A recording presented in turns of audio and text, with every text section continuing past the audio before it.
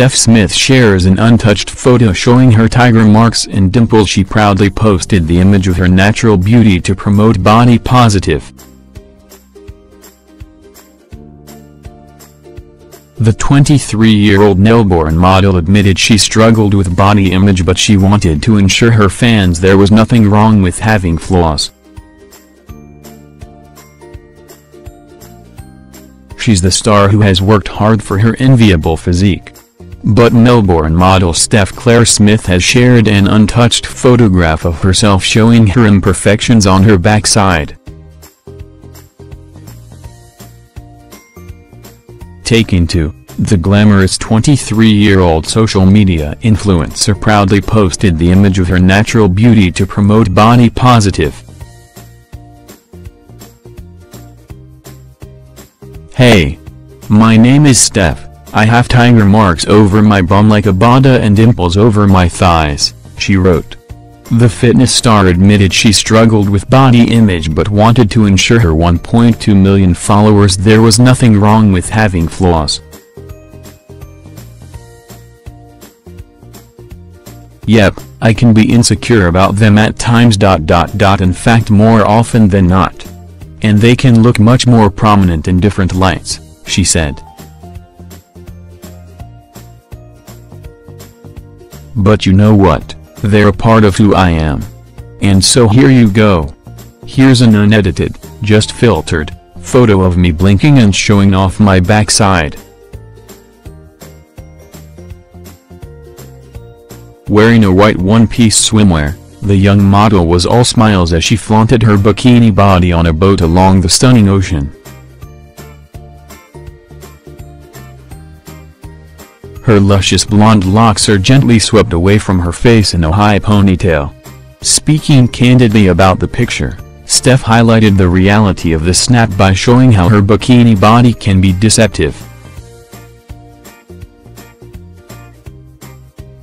Remember that lighting, angles and poses can really change how you look in a photo, so don't compare yourself to models you see on the net or in catalogs etc., she said. By sharing her latest social media post, she wanted young women to draw self-confidence by learning to love their bodies. Find your confidence through looking after yourself by a healthy lifestyle, I know I'm healthy so I'm happy, Steph said. Love yourself silly guys. And it isn't the first time the young woman has opened up about her struggles with body image. In August, Steph, who runs Keep It Cleaner with her best friend Laura Henshaw, she had been battling a secret binge eating disorder since the age of 20. No one wakes up and thinks they are perfect and goes through life thinking that they are the best of the best. Even people you might look up to and think look perfect, she said. It's sad but it's reality. We are all like this. Every single one of us. Between the ages of 18 and 21, Steph said while she was an overly confident woman, her measurements changed drastically as she grew older. I started to get insecure about other things, particularly when I started modeling, for obvious reasons, the model explained. We are denied for jobs more than we are accepted. It took a while to get over that. You have to go through that though and you've got to learn to be able to accept yourself.